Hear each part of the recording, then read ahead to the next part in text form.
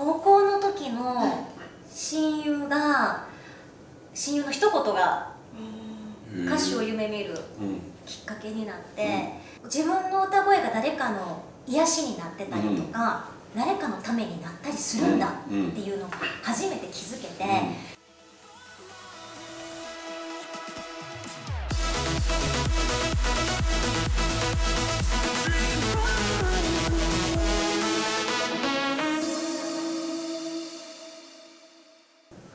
本日も始まりました。光レンタ TV 夢しか叶わない。メイン MC の光レンタ株式会社井口道夫です、えー、今回はアシスタント MC としてサイバージャパンダンサーズの千秋さんと一緒に番組を進行させていただきます。千秋さんよろしくお願いします。よろしくお願いします。サイバージャパンダンサーズの千秋です。よろしくお願いいたします。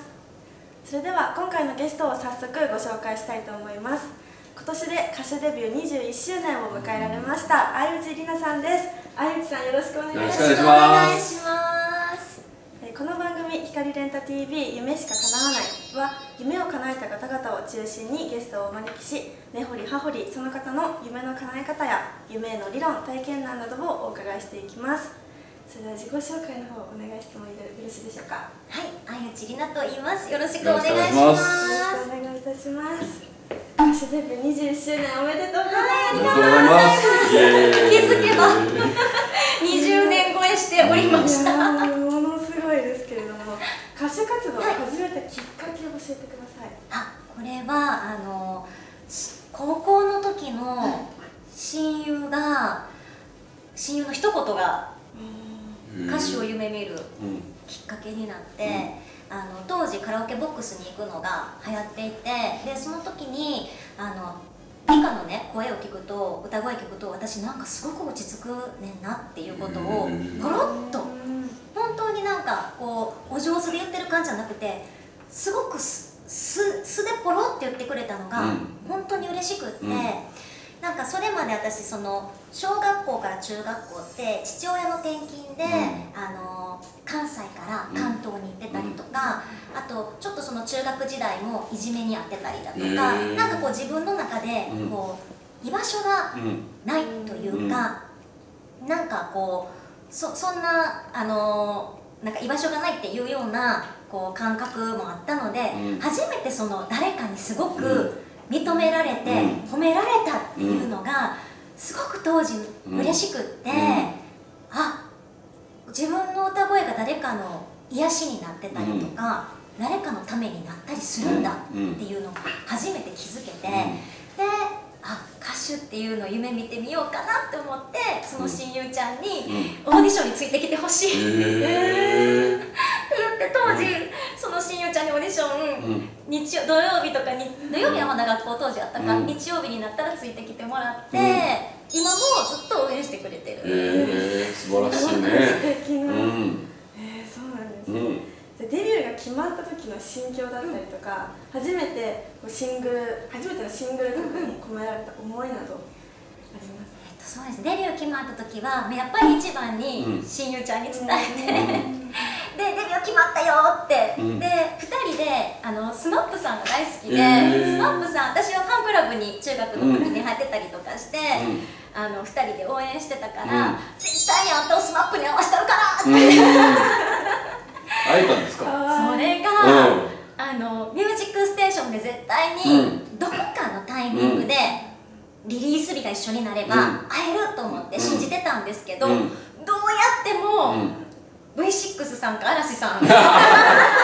悪くないけどね。全然いいですよ。全然いいんですけど、どうやっても SMAP さんと一緒になる「ミュージックステーション」がなくて。に出た時にスナップさんとご一緒させていただいて、あの挨拶させていただいて、でトークの時に一緒に並ばせていただいて、で夢叶ったんですけど、親友ちゃんだけ叶ってなくて、なるほどなるほど、っていうような、そうちょっとご縁がねミュージックステーションでなかったんですよね。ね、これからってわけにもいかないですね。一人一人一人に会いに行くみたいなね。先に引退をしてしまい。はい、でまた再始動ということで21周年なんですけれども、はい。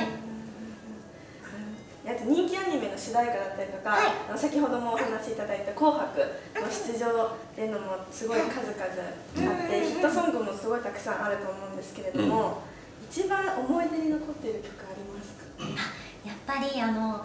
名探偵うん。コナンの、うん。あのオープニング曲になった「恋はスリルショックサスペンス」っていう曲で、もう本当に、うん。あの曲で、うん。コナン君がパラパラっていううん。ダンスを踊ってくれて、うん。それによって今まであのあパラパラの歌の子やろって言われてたのが、うん。クラブシンガーでしょって言われてたのが、うん。あの本当に子供から、うん。ねあのこう年齢を重ねた方までうん。知っていただけるきっかけになって、もう本当にあの時のコナン君のおかげで今相内里奈っていう名前が残ってるんだなっていうのをずーっとその当時から私思ってるので、もういつもコナン君にはこういう感じで って感じで。いやでもそれによってねあの本当に今回ねあのお名前をお聞きした時僕ちょっと世代が1個上ぐらいの世代なのでうちの息子が逆に言うと見てるぐらいの感じだったんで ちょっと周りの人に聞いたんですよそしたらもう「え何ですか?」って「紅白歌手ですよ」とか「こんな曲歌ってたんですよ」もうカラオケで絶対歌いましたよっていうような話を聞いたんで もうざわざわしながら「あのえ俺会うんだけど」みたいな。ざわざわしながらありがとうございます、もうでそういう感じがすごく強かったですね。そうなんですやっぱりもう本当にみんながコナン君でうん相内里奈を覚えてくれてやっぱり本当にあのコナン君の曲を数々担当させてもらったのでなんかその思い入れのある一曲になってくれてるのがすごくありがたいなって、ねなんかあの YouTube を若干見させていただいたんですよ。で今のようなこうねお子様と一緒にこんななんか感じでやってやってるじゃないですか。歌聞いたら全然違う人なんですよね。思いました。ね。うんすっげえと思って。だからやっぱその辺がもうまあ人間ギャップって絶対大事ですよね。そうですね、うん。なんかこう今はあのギャップが面白かったねって過去を振り返れば、うんあのーそのギャップがいいように働いたんだなって思うんですけど、うん。当時はやっぱりどうしても年齢が若いっていうのもあって、うん。あれはもう作ってるんじゃないか、うん。ぶりっ子なんじゃないか、うん。あれはもう喋ってる方は偽物だろうっていう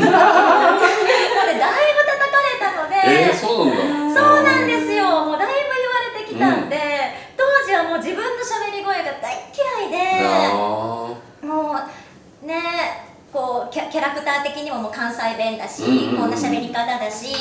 もう当時はなるべくあんまりトーク番組には出たくないなって。いう なんか出ちゃうとまた言われるのかなって思ってたんですけどこれからはバンバン出てください。はい、もう今となればもうね、うん。もう怖いものなしなんで。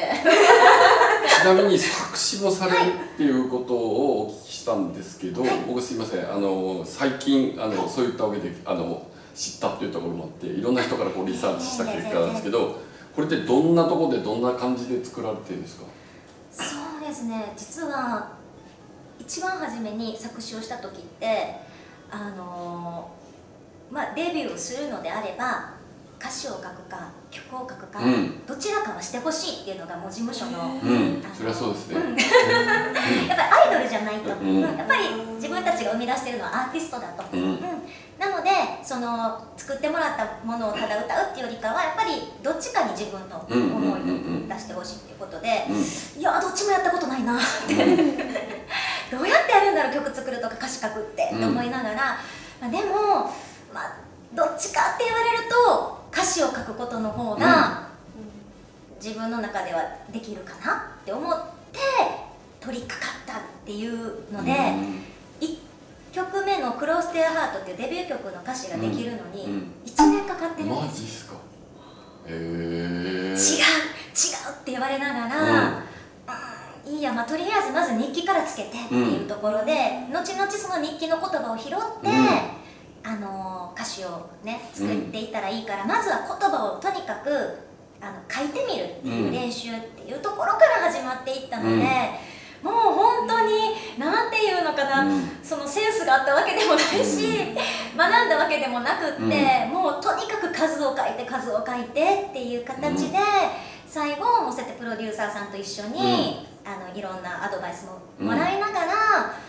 あの書けるようになったっていう感じなので最初はだから始まりは60点だけどまあいっかっていうのから始まったんですよ。であのプロになってなってねデビューしていく中で100点を目指していこうって言われて、うん、はいって言いながら。まあでもそれはアドバイスしてくれた人が本当に正しいですよね、うんうん、完成形って先にあっていいと思うし、うん、まずはそのとりあえず僕らバージョンゼロって言うんですけど、はい、まず何かこう作ってみようと、うんうんうん、それをこうバージョンアップしていくっていう形の方がなんか先があるから、まあ、あの完成形って永遠に来ないんですけどそうですよね、うん、だからその時はね100点目指さなきゃって思ったけど今になると100点って思ったら終わっちゃうなって。そうそうそうそう、なんかそれを伝えてくれてたのかなって、うん、そうそうそう。思います。今になると、だからずっと100点をつけれない自分でいて、だからこそ100点をずっと目指していくって、あそれでいいのかなっていうふうには思えるようになんか聞くところによるとその詩を先書く人と曲を先書く人っていうのがいて、曲を作って曲の中に言葉をはめていくじゃないですか、そうするとなんか音のなんていうんですか長さとかそういうのが合わなくて、なんか信号が生まれたりするわけですよね。そうですそうです。無理やり無理やり表現するんでなんか新しい言葉が生まれちゃったりするって、まあ、それがさ、ね、作詞をされる人の醍醐味ですよね、あります本当あります、あの本当私もまず曲をもらってから、あともうほとんどの曲にありがたいことにタイアップがついてたのではコナン君ね、うん、今回はこのアニメねとか、うん、スポーツのイメージだからとか、野球サッカーとかいろいろあって、まあ、そこから少し言葉を定めていくんですけれども。